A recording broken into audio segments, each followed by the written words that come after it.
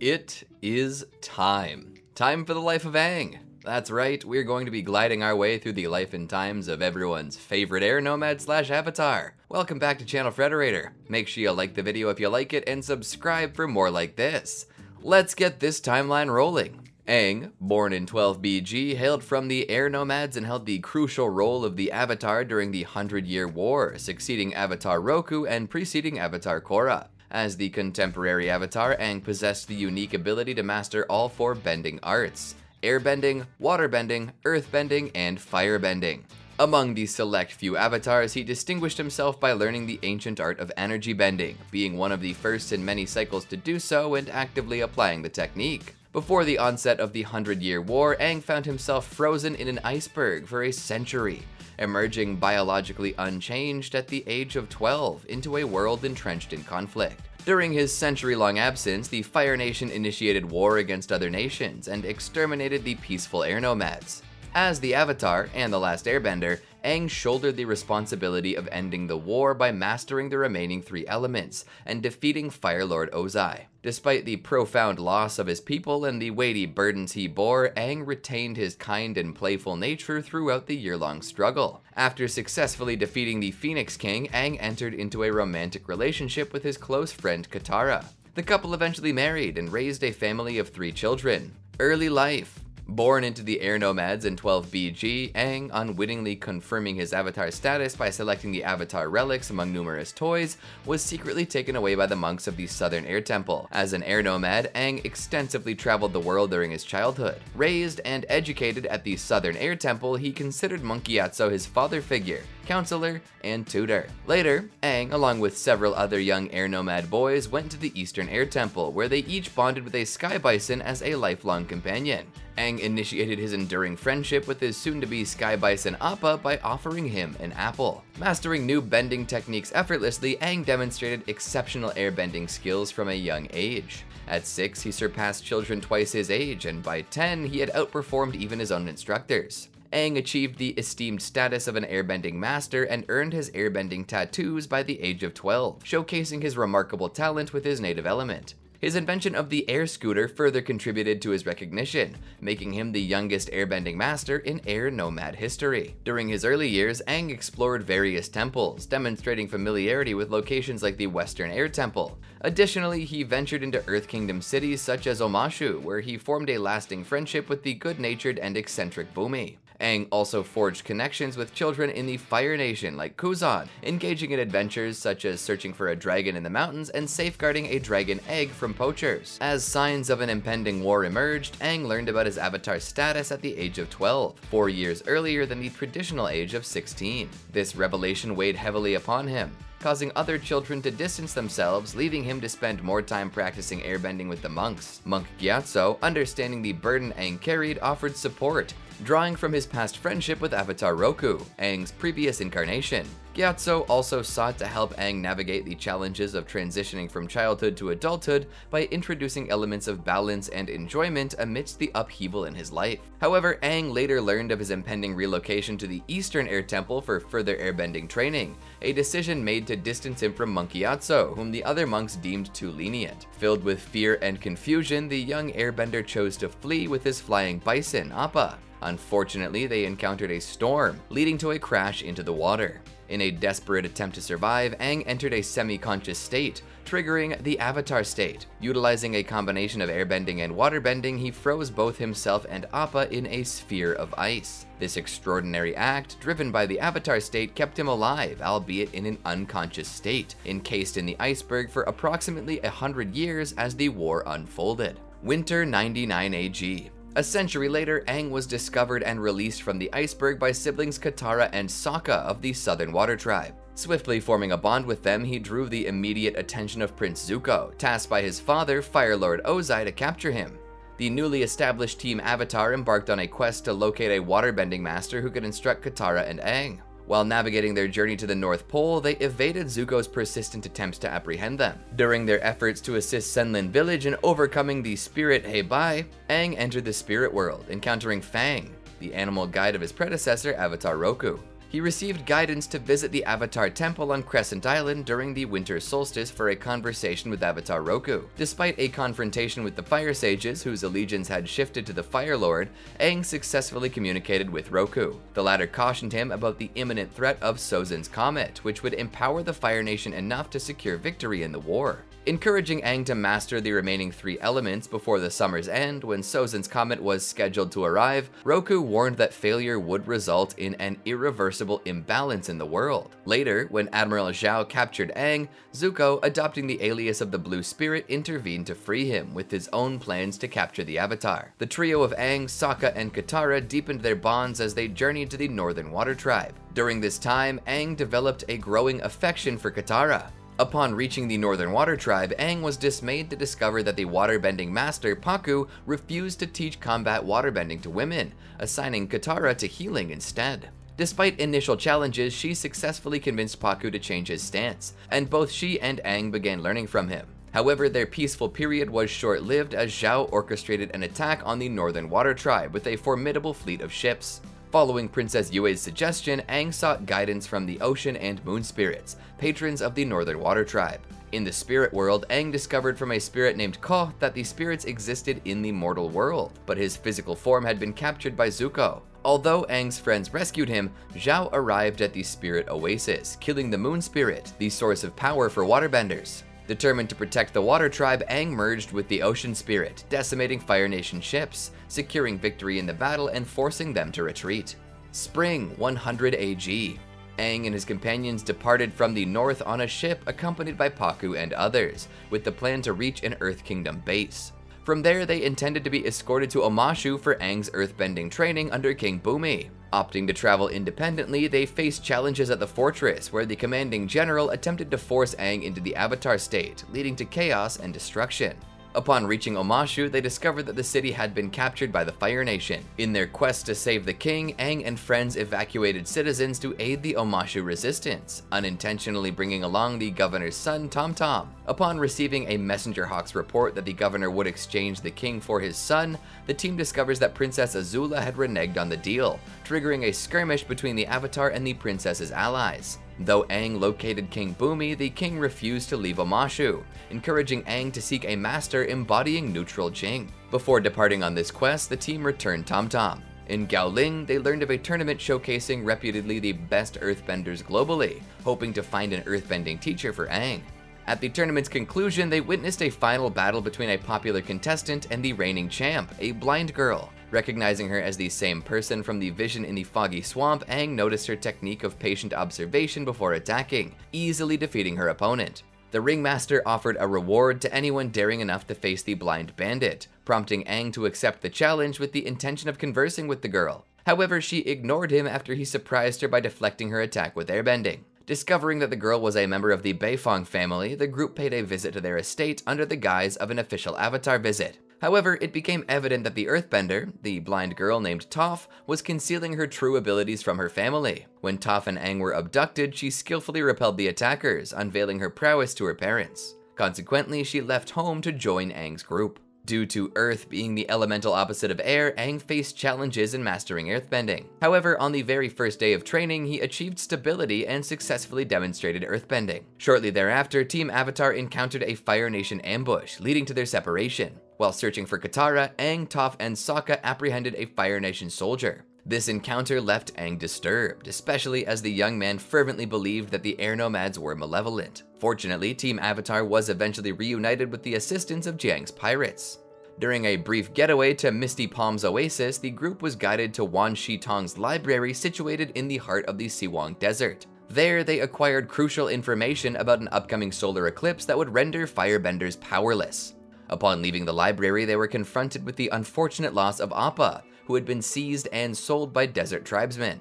Discovering Appa's plight from the captors, a furious Aang entered the Avatar state, decimating the tribe's sand sailors. Despite Appa's absence, the group aimed to reach Ba Sing Se to inform the Earth King and strategize an invasion of the Fire Nation. Upon navigating out of the desert and traversing the Serpent's Pass, they encountered a massive Fire Nation drill, attempting to breach the outer wall of Ba Sing Se. Initially hesitant, General Sung eventually accepted the group's aid after witnessing the swift defeat of his Terra team by Ty Lee and Mai. Through a collaborative effort, the group successfully thwarted Azula's team and disabled the drill. Upon arriving in Ba Sing Se, Aang uncovered a conspiracy within the city.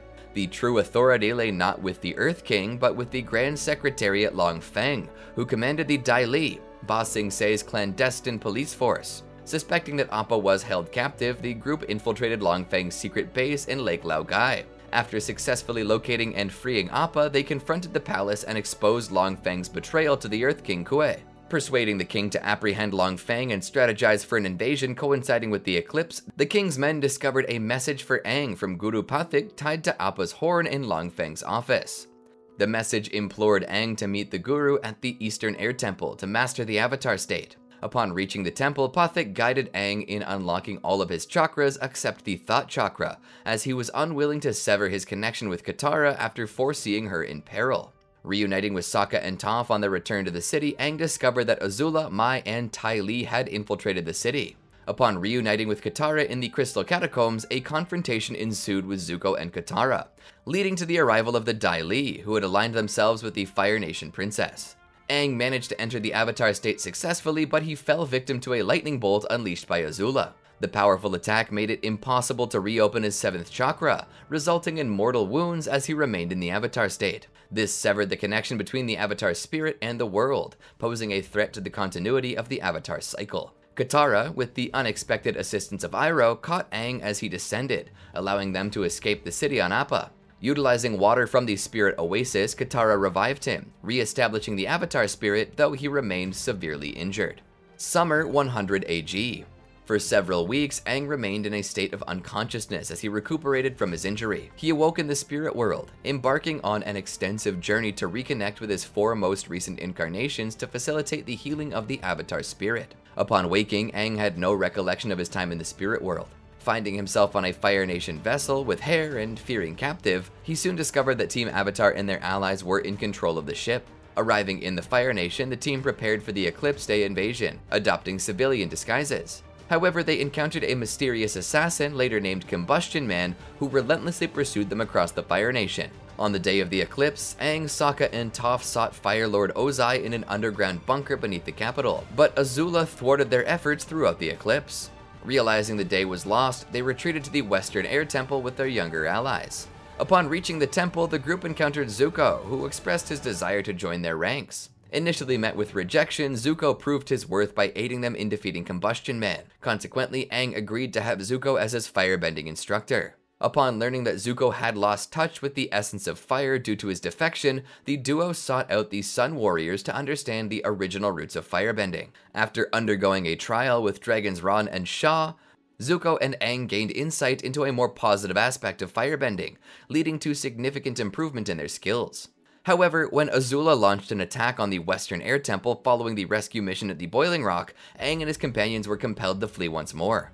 While Aang and his companions initially hoped to postpone the confrontation with the Fire Lord until after the impending arrival of Sozin's comet, the revelation of Fire Lord Ozai's plan to obliterate the Earth Kingdom prompted them to reconsider. Aang, driven by his air nomad principles valuing all life, grappled with the idea of taking Ozai's life. Seeking guidance, he journeyed to an island near Ember Island, where he encountered a lion turtle that imparted the wisdom of energy bending. Empowered with this newfound knowledge, Aang engaged in a decisive battle with the Fire Lord in Wulong Forest. A protruding rock against his wound triggered the Avatar state once again. Despite overpowering Ozai, Aang chose mercy and, utilizing his energy bending abilities, stripped the Fire Lord of his bending.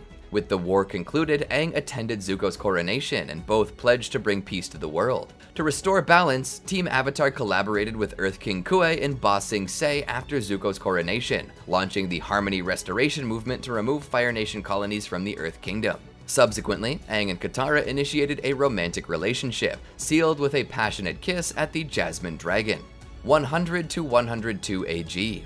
After the Hundred Year War, Team Avatar dispersed, and Aang dedicated himself to global peace restoration. His efforts included facilitating the return of numerous Fire Nation colonists. However, a year later, Zuko unexpectedly withdrew support for decolonization, causing concern. Aang and Katara visited Yu Dao, where conflicting views emerged between the Fire Lord and Avatar. Zuko perceived the oldest colonies as thriving communities with the right to exist, while Aang saw them as an ongoing threat to balance. Despite the disagreement, Aang and Katara committed to seeking a peaceful resolution, opting to involve Earth King Kuei. In Ba Sing Se, Aang was pleasantly surprised by the official Avatar Aang fan club, dedicated to air nomad teachings. However, the meeting with Kuei turned sour, leading to the king advocating forceful removal of the colonies. Rushing back to Yu Dao, Aang and Katara tried persuading the locals to leave before potential conflict. Faced with resistance from both colonists and Earth Kingdom nationalists, Aang struggled for a peaceful resolution until the battle for Yu Dao erupted. Fearing the need to harm Zuko to prevent war, Aang eventually concluded that maintaining strict separation between nations was no longer feasible, acknowledging Zuko's perspective. Thus, Aang halted the battle, persuaded Kuei to allow the old colonies to stay as self-governing entities, and transformed the official Avatar Aang fan club into the first air acolytes to revive air nomad culture. After resolving the Yu Dao crisis, Aang, Katara, and Sokka joined Zuko in the quest to find his long-lost mother, Ursa. To do so, they reluctantly collaborated with Azula, who possessed crucial information about Ursa's location. A tense encounter with a wolf spirit marked the beginning of their journey to the remote village of Hira'a. While staying with two friendly actors, Noren and Noriko, the group lost track of Zuko's mother, but discovered that Ursa's ex-boyfriend Ikem had disappeared in the nearby Forgetful Valley. In this spiritually significant forested area, Aang and his companions encountered Rafa and Misu, Water Tribe siblings seeking the aid of the powerful spirit known as the Mother of Faces. Aang ventured into the spirit world, persuading the ancient spirit to grant them one wish. Choosing to use the wish to help Rafa and Misu, Team Avatar's plans were disrupted by Azula, who seized the wish for herself. The Mother of Faces revealed that she had helped Ikem and Ursa start anew by granting them new faces, those of Noren and Noriko, while erasing Ursa's memories. Azula fled, pursued by Zuko and Sokka, leaving Aang and Katara to convince the Mother of Faces to grant a second wish for Rafa and Misu. A conflict ensued with the mother feeling disrespected and sending spirits to attack them. Amidst the chaos, Aang accidentally uncovered Rafa's true face, taken by Koh, the son of the Mother of Faces. Reminding her of the Avatar who had once spared Koh, Aang persuaded the mother to grant Rafa a new face. Subsequently, the spirit restored Ursa's face and memories. Aang and his friends accompanied Zuko, Ursa, Noren, and their daughter Kiyi back to the Fire Nation capital. Following this, Team Avatar participated in the remaining discussions about Yu Dao's future, where Aang had an encounter with the spirit of Avatar Yang Chen but couldn't hear her. This meeting motivated him to revive Yang Chen's festival. During this process, Aang, along with Team Avatar and the Air Acolytes, uncovered the construction of the Earthen Fire Refinery and a settlement on previously sacred air nomad lands. Aang opposed this development, leading to tensions with Toph, who advocated for change. Despite challenges posed by the factory, the Avatar and the Air Acolytes persevered in their efforts to celebrate Yang Chen's festival. During a ceremonial meal, Aang finally connected with Yang Chen, only to have their conversation interrupted by an earthquake. Hastening to the earthen fire refinery, he discovered that Katara, Toph, and others were trapped in a mine beneath the factory. With the assistance of Toph's students, Aang successfully reached the group. Later, he reconnected with Yang Chen, learning that Yang Chen's festival was initially established to appease the spirit General Old Iron, who sought vengeance for the alleged murder of his spirit friend, Lady Tienhai, by humans. The construction of the factory reunited his anger. When General Old Iron attacked, Aang attempted negotiation until the spirit threatened to harm Toph and her students. In response, the air nomad inflicted a deep wound on the spirit, prompting General Old Iron to retreat. Aang regretted this outcome, contemplating whether General Old Iron might be correct in asserting that humans and spirits can't coexist. However, his optimism was restored when Lady Tienhai appeared, revealing she hadn't truly perished and always loved humanity and its progressive ways. Consequently, the Avatar decided to transform Yangchen's festival into the Spirits Friendship Festival, preserving air nomad traditions while adapting to the changing times. After resolving the crisis at the Earthen Fire Refinery, Aang journeyed to the Fire Nation to assist Zuko, who was dealing with reported dark spirit attacks. Aang discovered that several children had gone missing while political extremists led by Ukano were rallying opposition against the Fire Lord.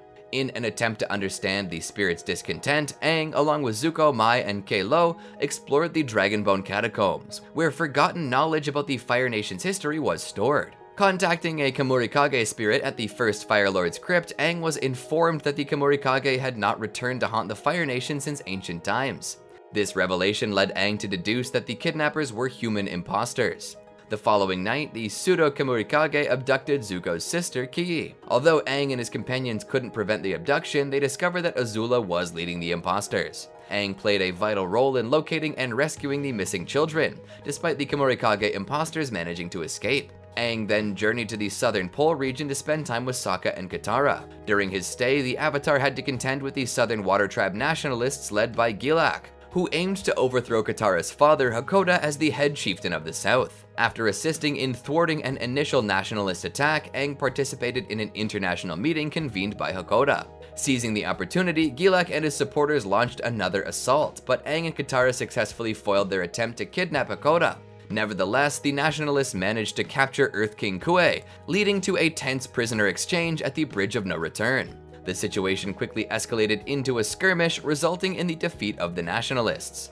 During the clashes, Aang intervened to save Hakoda and Malina from a perilous fall. Shortly after, Aang and his companions journeyed to the Earthen Fire Refinery, discovering the emergence of a city named Cranefish Town. Lao Beifong requested the Avatar's assistance in resolving conflicts between benders and non-benders within the settlement. When several factories owned by non-benders, including the Earthen Fire Refinery, fell victim to sabotage, Team Avatar decided to launch an investigation. Aang and his friends uncovered the involvement of a councilwoman, Li Ling, who was orchestrating the Bender supremacist movement. They captured her after infiltrating her secret rally. However, Aang faced a dilemma when Toph urged him to strip Li Ling of her bending to quash the movement, a fate considered worse than death by the conspirator. Before Aang could decide, Li Ling escaped and initiated an armed uprising. The Avatar played a role in suppressing the insurgency and ultimately chose not to remove the bending abilities of the supremacists. He concluded that such an action wouldn't address the deeper societal issues, mistrust, and ideological differences fueling the conflict. Aang and Katara decided to remain in Cranefish Town, viewing it as a unique place and aspiring to contribute to its development into a better community. Later life.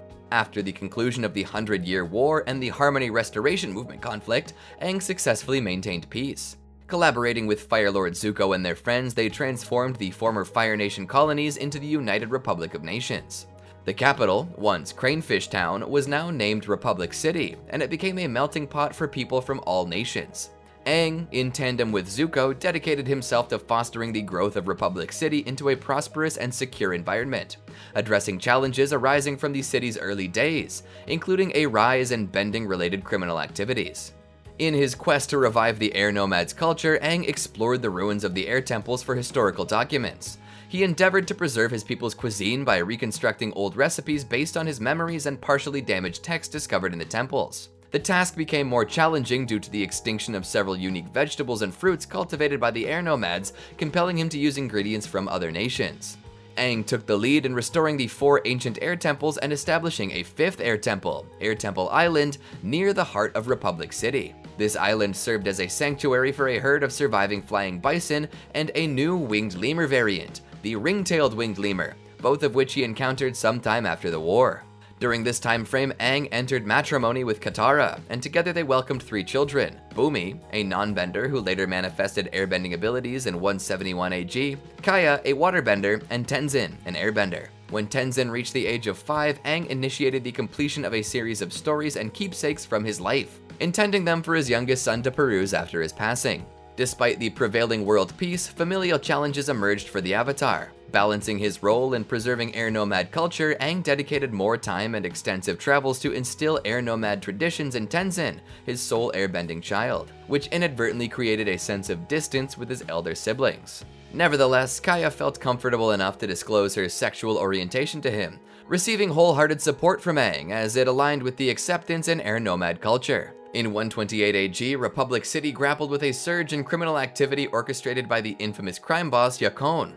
Aang, recognizing the urgency of the situation, deemed it essential to collaborate with the chief of police at that time, Toph Beifong, to apprehend Yakone, a master bloodbender who had eluded legal consequences for an extended period. Aang, alongside Toph and her squad of metal-bending officers, successfully captured the crime lord at Kwong's cuisine. Despite Yakone's lack of resistance during the arrest, he boldly asserted that he would evade the charges once again. Aang later attended his trial, sitting in the gallery behind the defendant as the court pronounced him guilty. The verdict mandated a life sentence, but before the sentence could be executed, Yakone exploited his bloodbending abilities to incapacitate everyone in the courtroom, rendering them unconscious. Although Aang demonstrated resilience, he eventually succumbed, losing consciousness after Yakone manipulated his powers to levitate the Avatar and hurl him against the stairs leading to the court's platform. Nevertheless, utilizing the power of the Avatar state, Aang regained his senses, enabling him to chase down the criminal. With a skillful air swipe, he effectively thwarted Yakone's escape